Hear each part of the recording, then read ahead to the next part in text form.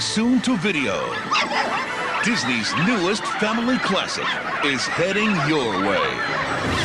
101 Dalmatians. Featuring the most outrageous villain of all, Cruella de Vil. Catch those puppies!